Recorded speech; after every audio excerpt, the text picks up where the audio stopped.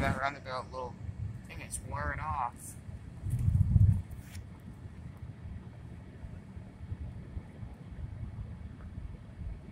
That's cringe. Oh, that car's hood is popped open. I wouldn't recommend driving it with a popped open hood. Roundabout.